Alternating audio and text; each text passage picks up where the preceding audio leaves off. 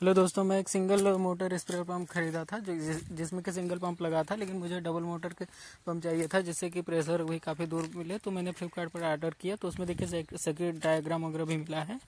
और इसमें एक फुट की पाइप मिली है, जो कि आप देख सकते हैं, इसमें देखिए कि डबल मोटर का पंप मिला है, जो कि 220 psi का है और इसमें 10 लीटर पर मिनट है, लेकिन इसे मैंने चेक किया तो लगभग आठ से नौ लीटर था ओरिजिनल में। और यहाँ पर देखें तो इसमें किट भी मिला है साथ में तो किट में देखिए एक ब्रास कनेक्टर मिला है और इसमें चार जो क्लैंप आते हैं वो मिले हैं। उसके बाद डबल स्विच मिला है, उसके बाद ये एक रेगुलेटर है, जिसमें कि आईसी वगैरह ट्रांजिस्टर लगा है, जिससे कि आपको सिंगल मोटर को स्पीड कंट्रोल करने का काम आता है। आप लोग चाहें तो इसे ले सकते हैं।